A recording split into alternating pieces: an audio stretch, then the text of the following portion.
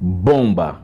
Segundo vários sites importantes do Brasil, G1, Terra, UOL, entre outros, o nosso país corre um sério risco de perder a nossa tão suada democracia o Corregedor Nacional de Justiça, ministro Humberto Martins, abriu na última sexta-feira uma reclamação disciplinar contra o juiz Eduardo Luiz Rocha Cubas, do Juizado Especial Federal Civil de Formosa, em Goiás.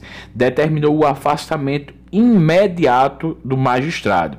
Segundo a Advocacia Geral da União, a AGU, que pediu a abertura de procedimento, ele planejava conceder uma liminar no final do dia 5 de outubro, sexta-feira, determinando que o Exército recolhesse todas as urnas eletrônicas do Brasil que seriam utilizadas na votação que está para ocorrer no dia 7 de outubro.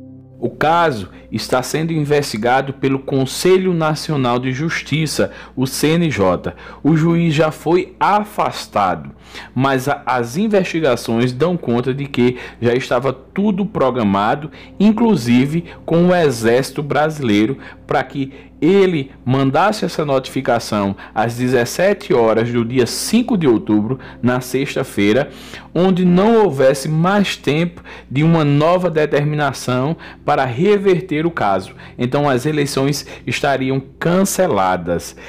Criaria um caos em todo o país e aí, quem sabe, o exército poderia assumir o comando da nação. Onde Bolsonaro encontra-se nisso é que o próprio juiz já gravou um vídeo ao lado do filho de Bolsonaro, Eduardo Bolsonaro, do PSL de São Paulo, falando desse possível caso. As investigações dão conta de que isso iria acontecer sim. E onde está a bomba? Deu errado com o Cubas, que foi afastado. Mas será que Bolsonaro e o exército brasileiro estão prontos para uma derrota nas eleições? Tudo indica que não estão preparados, mas tudo indica que eles perderão sim. Quem não vota no Bolsonaro no primeiro turno dificilmente vai votar nele no segundo. Como diz Marina, porque tem medo se acha que já está ganho. Fica aqui nosso temor. Bloco Social torcendo pela democracia. Até o próximo vídeo. Tchau, tchau.